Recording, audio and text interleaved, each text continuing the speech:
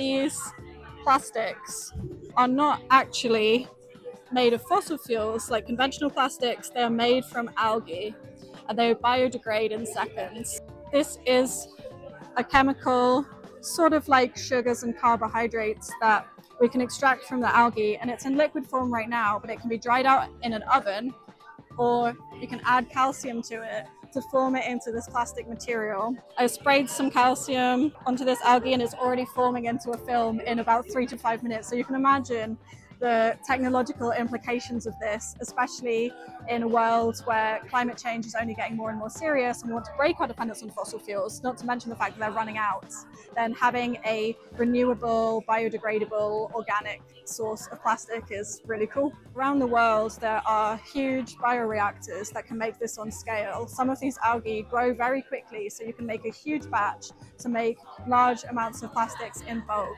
and that's a really interesting avenue to be explored. It's just needs further development and further funding, and it might be something that becomes quite mainstream quite soon.